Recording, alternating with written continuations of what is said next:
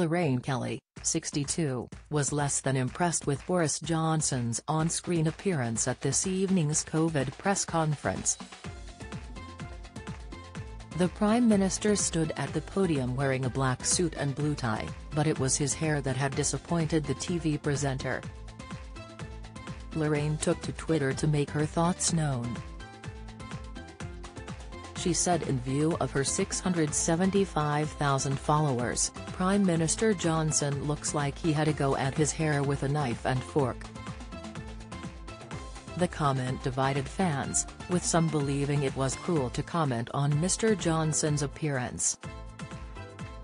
Sharon wrote, slightly cruel, we wouldn't say that of any other person. Regardless of people's personal feelings about Boris there is no need for cruel and potentially hurtful comments. I must say I'm surprised at your comment Lorraine. Caroline echoed, would you comment in the same way on the appearance of a female politician? Fiona added, I think you are slightly missing the message Lorraine. However, many agreed with Lorraine and joined in with her joke. Author Giles Paley Phillips quipped he was thinking a spoon rather than Lorraine's cutlery-inspired suggestion. RuPaul's Drag Race winner, The Vivienne, added, brushed it with a toffee apple by the looks of things.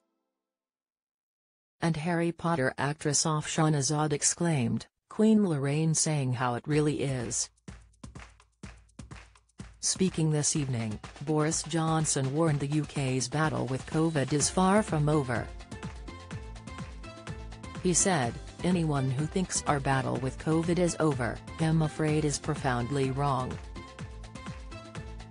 This is a moment for the utmost caution. He added, there is no escaping the fact that some services will be disrupted by staff absences. But we have been working through Christmas to prepare for this wherever possible. The Prime Minister confirmed he would not impose any further restrictions.